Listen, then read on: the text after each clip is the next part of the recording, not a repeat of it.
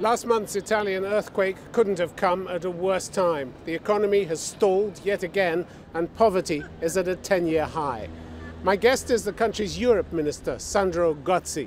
Under pressure from poor economic results and the rising populist movement, how long can his government survive?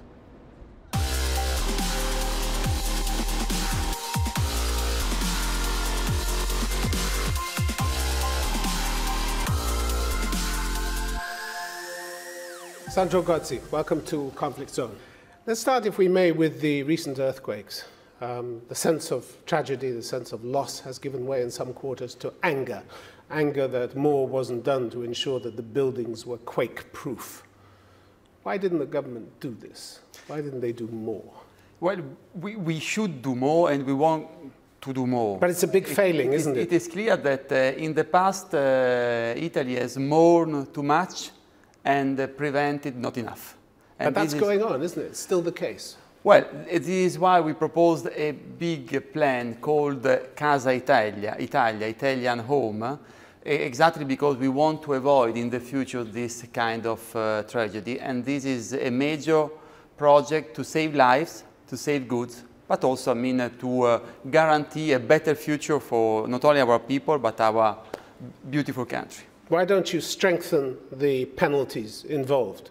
Because your own statistics office says unlawful construction is of dimensions unparalleled in other advanced economies. Yeah, the difference is people think here they can get away with it, don't yeah, they? And they do get away with it. Another heavy burden of the past, and this is why uh, we have asked uh, a very good magistrate who has done an excellent job for the Expo in Milan, Raffaele Cantone, with the chair of the new anti-corruption authorities to verify everything has been done and to verify what we are going to do to rebuild because on this again we don't want to commit the mistake done in the past. But you need new sanctions. If you were serious about this, we would see you rushing new legislation through Parliament, higher penalties and enforce, more enforcement. Why, well, why are we not seeing this? Because I don't think that the problem in Italy are laws. Probably we've got too many laws. The issue is to enforce and properly enforce the law, law we have, and this is what we are, we are going to do. You won't take on the big vested interests, though, will you? You won't take on the mafia that is going to cream off some of the money that's going to be given for reconstruction. This is a perennial problem here. You've closed 200 municipal councils in Italy over the last 25 years because of infiltration by the mafia. You can't stop it, can you? Of course we can, and of course we can uh, face important uh, project in our country uh, without uh, running the risk of uh, mafia action. Once again, uh, all the world watched what we do, we, we do for the Expo in Milan. Big scandal of corruption, big scandal of mafia action around it. We run the risk of not having the World Exhibition in Milan we fought, we fought against organized crime, we fought, fought against corruption, we, we organized a major event. We want to build on this experience because that proves that we can fight the illness of the past and we can show that Italy is a changing country. But your judges say something different. Just five months ago, Supreme Court Judge Pier Camillo Davigo said he believes corruption has been getting worse in recent years. He says the politicians haven't stopped stealing. They've stopped being ashamed of it, he said. Now they blatantly claim a right to do what they used to do secretly. That's not getting better. This is a major embarrassment for your government. Here's a senior judge, we, Supreme Court judge. I, I, I, give you, I give you some figures. I don't want to uh, open a debate, uh, undirected debate with Pier Camillo Davigo, who is uh, now the chair of the judges syndicate. So he knows what he's talking about. Yeah, yeah, he knows what he's talking about. I also know that, for example, we have reduced by 40% the fraud against the Italian and the EU budget in the use of public funds only last year. And this is a major step ahead. What I don't share about uh, Davigo's view is that uh, he wants to condemn our country to uh, some uh, illnesses of the past. We think that uh, this country can change, that this country is changing, and we are proving that we can do uh, much better and notably in a legal way. Even though he says things are, are still getting worse, because your country is consistently ranked as the most corrupt country within the Eurozone, according to Transparency International. Yeah. This is not changing. This is changing, and this but is. you're still uh, you're still ranked as the most corrupt country this- this in the eurozone. thi- This is changing, and, and this is why we took uh, uh, we on this on to fight against corruption. We introduced new legislation to fight against corruption. We create uh, an anti-corruption authorities, and uh, we are getting results. Okay, let's, let's look at the brighter future that you're talking about as far as the economy is concerned. Um, growth has stalled for the latest quarter, zero growth in the second quarter of this year, and poverty is at a 10 year high. So your perspectives don't look that great, do they? Well, I mean, in the last uh, trimester, uh, Italy has done zero growth, France has done zero growth, the Eurozone has done 0.3 percent. Uh, I wouldn't take it that as a specific Italian problem. I would say that it's that. It's a- not, but, it, but it's, you're, you're common- always in the bottom. You're common- always in the bottom six or seven countries when Well, it comes we- to growth. At the beginning of our government, we, we, we started from a minus 2%. And uh, I think that uh, already from minus 2% to uh, register a plus 0.8% of last year and working to really boost growth is something that uh, is already an improvement. Of course, we are not satisfied. But you're the third biggest economy in the Eurozone, Minister, and running at half the average rate of growth in the Eurozone. Half the average rate. You take GDP growth in the first quarter of 2016. Average in the Eurozone was 0.6. Your figure, half of that, 0.3. Yes, of course. A country which has, not, has, has, has never done serious reform for the last 15 years. A country which has suffered more than others because of wrong European therapy. A country which uh, is starting now to uh, uh, having major structural reform, like the reform of the labor market, the reform of the justice, the reform of public administration. We hope, if we win the referendum, a major constitutional reform. It is clear that you cannot expect Italy to perform uh, as other countries with this, uh, uh, with this backlog of work that it hasn't been done and that we have done in these two and a half years, Okay, and we are, we're going to continue to do it. But you've set targets that you're not going to meet, are you? I mean, you would need to grow by 1.3% in the last two quarters of this year to meet your goals for 2016. You're not going to grow at 1.3% for the, I- for I- the final I quarters of think this year, no, nobody is going to confirm the economic forecast of April, and this is not uh, the Italian government saying it. If you look at the International Monetary Fund, it, it, look at the OECD, they are all saying that uh, the, uh, uh, there will be economic slowdown compared to the economic forecast in April. Okay, but, but the IMF has given you a worse forecast than for the other countries in the Eurozone. Your economy, it said, won't return to pre 2008 levels until the mid 2020s, by which time the other Eurozone countries, it said, will be 20 to 25% larger. So your forecast is noticeably worse than for the other countries, isn't it? That, uh, uh, to, that, i- i- that must be seen. We, are, we got a better figure. But the point that, uh, I mean, we are doing uh, the reform effort which nobody has done before. And uh, uh, Italy needs many structural reforms. Some of them have been taken and they are going to be implemented, have been implemented. Some others still needs to be taken. We cannot solve all the problem that we have accumu- accumulated in almost two decades in two years. And this is why we are so determined in moving ahead with our reform effort. You have two lost decades of growth, according to, to the IMF. And any recovery in the Italian economy is likely, they say, to be fragile and prolonged. But this is why we insist also on the fact that there are two main macro causes for this uh, Italian delay. The first, I told you, the time that Italy has wasted. The second, wrong uh, therapy at European level. We And your Prime Minister has said also a third one the uncertainty over the British exit from the European Union. Well, all, all, the, all the major inter- economic organizations are saying that uh, the slowdown in the last month is, is, uh, is due to three main reasons. The first is uh, the uh, terrorism, uh, terrorist attack. The second is the migratory crisis. The third is the uncertainty around Brexit. This is not only Prime Minister Renzi who said this. No, but all he- the major economic organizations were saying But that. what he did say was that the English are the ones who will feel the damage most.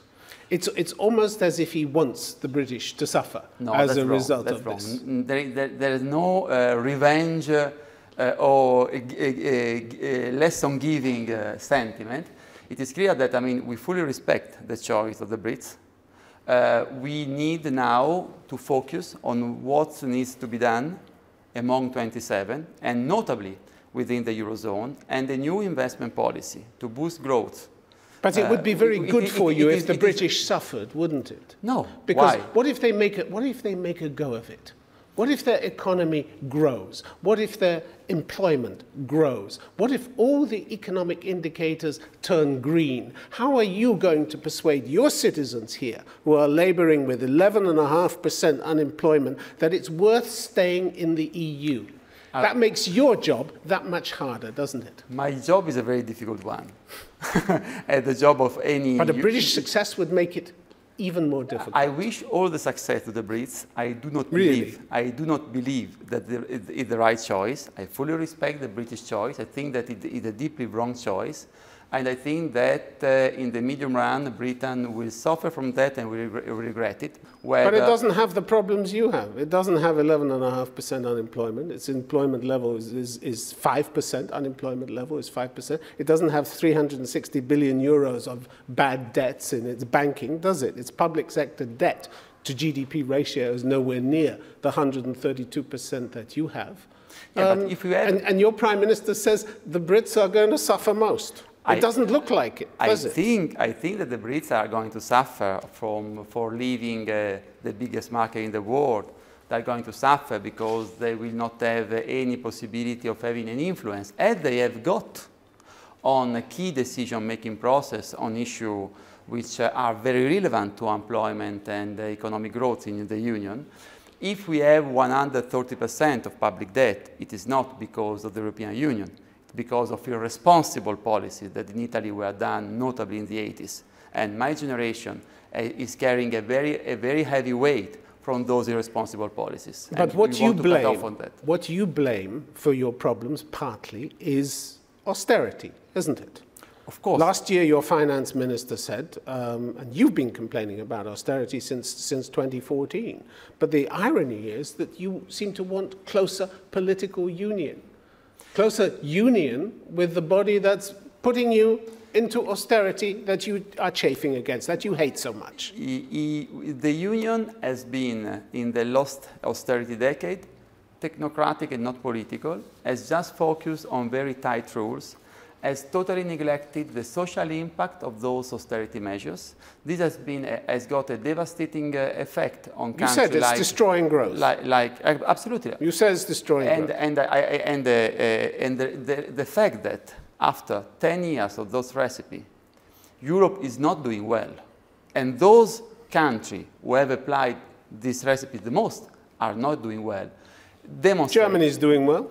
Demo, well, Germany's doing well. This well, is your complaint that it's 28 countries, or, or, soon to be 27 countries, not just one. This was your prime minister's complaint, wasn't I, it? I do believe that Germany has mostly benefited from the euro, has mostly benefited from the policies which been, uh, have been followed in the eurozone, and I think that now it is the time also to uh, accommodate the need of country needs to uh, relaunch growth, and I think that from one side, the quantitative easing of the European Central Bank is very good for the Eurozone, but this is not enough. What we say is that we need to do more at national European level for a new investment policy. But you both disagree private with, and public investment policy. You disagree on so much with, the, with other countries. In the, you've had open rows with Germany, you've had open rows with the European Commission. Um, there's a lot of bad blood between Italy and other members of the I, EU, isn't I, there? I wouldn't, I, I, I wouldn't say that at the moment. Uh, I would say at the moment the relations between Italy and Germany are good, as the last uh, Italy-Germany summit proved. I think that we are converging. You recited some slogans with no. each other and a few cliches. It, are, didn't, it no. didn't say good relations anywhere, did it? I give you an example on, of uh. a new strong political convergence between Italy and Germany, Migra my migration policy at EU level. And also the, need, the fact that we all agree that uh, we need to do more and better with the investment plan, the so-called Juncker plan. And the fact that we need to do more for youth policies also at the European level. But in, ja in January, Juncker criticized your Prime Minister openly. He said, I think he's wrong to offend the Commission at every opportunity. I don't see why he does it. And yeah. your Prime Minister replied, We won't be intimidated. Italy deserves respect. It's yeah. pretty sad when it gets it down was, to that level, isn't it? It, it was, it was a Start, it was a, a, an original uh, way of uh, understanding each other because that belonged to the recent past. But it showed a have, lot of misunderstanding. We, we have opened it? a new phase, and uh, the, the, decision the Commission took uh, on uh, the Italian budget, the decision, uh, the, the proposal the Commission made on migration, the proposal the Commission made on relations between Europe and Africa, all go toward the right direction.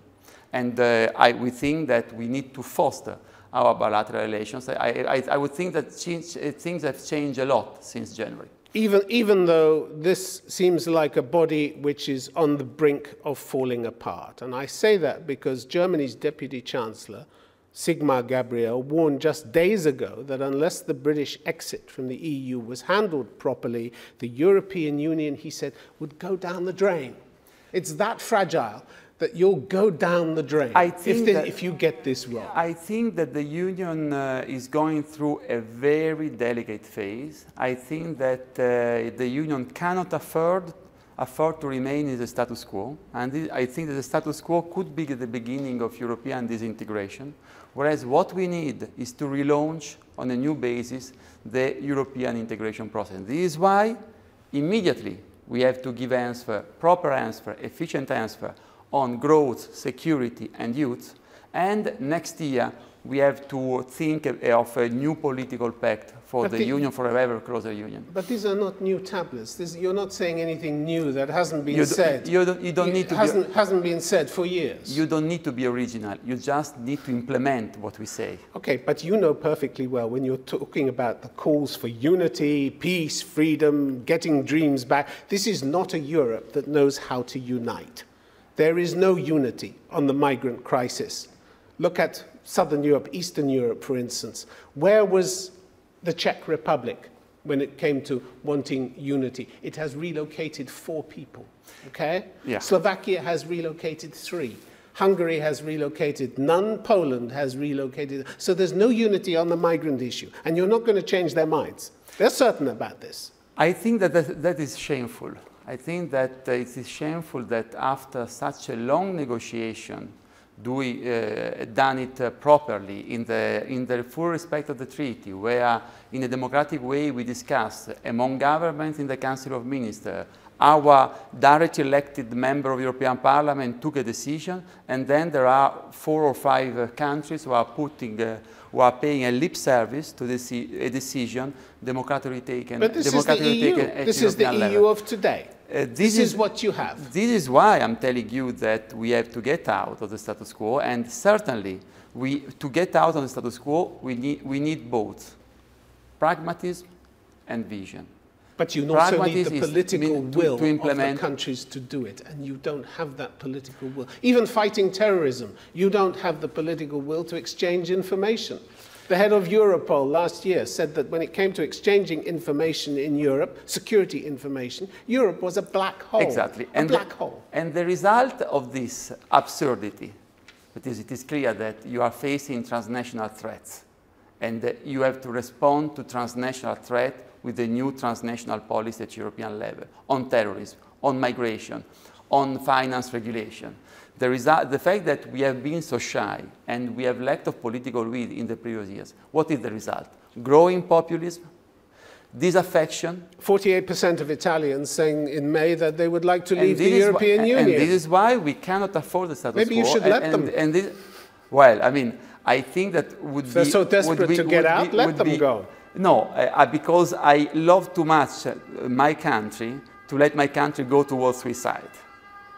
So I think that at the best But choice, your country is in a best, terrible state and you blame a lot of it on the EU. The, well, the, the EU is part, as, as the EU, uh, the policy which the EU has followed in the, few, in the recent years bear a part of the responsibility for this uh, growing Euroscepticism. A part. But Minister, good, Minister if, if the EU does not have common solutions to pro common problems, what is its legitimacy? It has no legitimacy, does it? You are saying that you are explaining the reason for. You have no. For, this organization has the, no legitimacy. You are, you, are, you, are, you, are, you are uh, uh, raising the reason for the lack of legitimacy of the EU, and this is why we are saying it is time to deliver. And it is possible. It is possible to deliver immediately on the issues which are at the center of citizens' worries, which are, again, I repeat, and this should be done from here to the Bratislava summit and from here to the end of the year. We need a new growth policy, a new investment policy.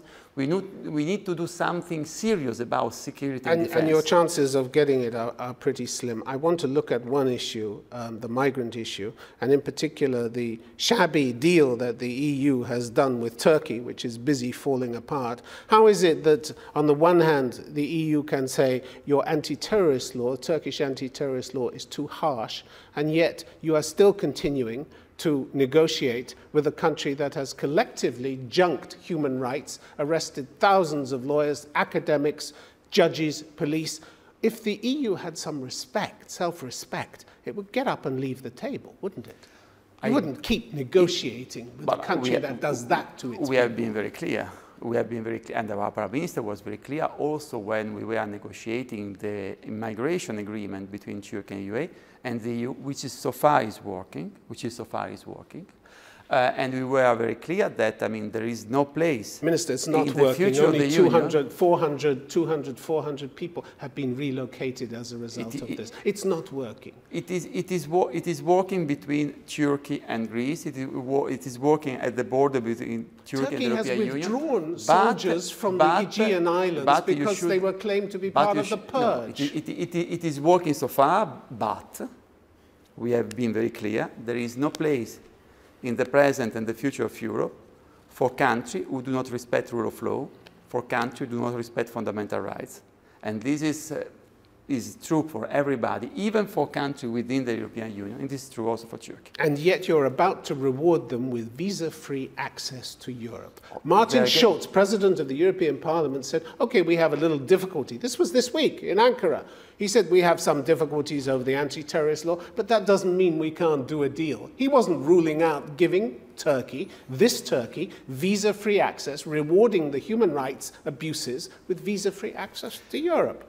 On visa liberalization, things are very clear. There are specific criteria to comply. It is not uh, a political decision. There are more than 70 criteria to comply. You're happy to until, reward until, human uh, rights until, abuses. Until Turkey or other countries who has applied for visa liberalization have not complied with all the criteria, it is not possible to go ahead. And then it is also, you need also the approval of the European Parliament.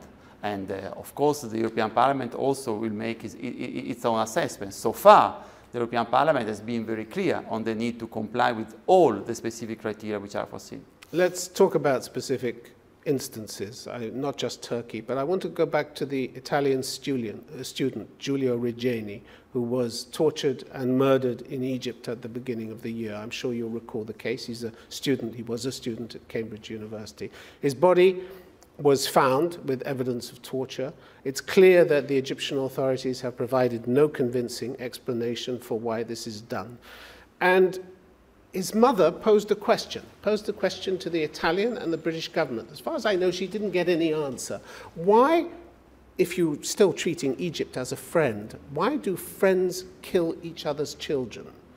Don't you think she deserves a, an answer to that question? Of course she deserves an answer, and this is why our Prime Minister, our Foreign Minister, who are directly dealing with this issue, have been very clear with the uh, Egyptian authority and the Egyptian government we want all the truth. And they take no notice of tragical, it. tragical event. They take no notice and we are, we are, we are insisting on this line because. So why no sanctions against against Egypt then? Now we we want to focus on the truth, and uh, this is a thing that uh, our prime minister is taking very seriously, as he's taken personally very seriously in the very beginning, and is continue to work on. The that. family has called for sanctions. Why no sanctions against Egypt? We are going. We are. We are, we are going to see. Uh, we are going to see what uh, the, the we, we want truth and we want answer from Egypt. If you were serious, you would impose sanctions. I, I, uh, I, would prefer uh, to, uh, to uh, repeat uh, uh, what is our official position and for our Prime Minister has said. We want all the truth from Egypt. What, what is more it important? It is not something which I deal directly, by the way. Minister, what is more important, the torture and murder of one of your citizens or some business deals that the EU, the EU is pushing ahead with this association been, agreement we, with Egypt? For us, fundamental rights and rule of law come first, and this is why it is our government which during the, uh, the semester of the President of the European Union has launched a new rule of law process within the Union because we think that if there is something on which we have to focus as European, something that is strictly linked to European identity is rule of law and fundamental rights. This is true within the Union, this must be true more and more in our relations of, for, for, with the all family our countries. of Giulio Regeni wants more from you. And they, are, and, they, and they deserve more, and we want to, uh, to have all the truth about this tragical event. Sandro Gozi, good to have you on Conflict Zone. Thank you very much. Thank you.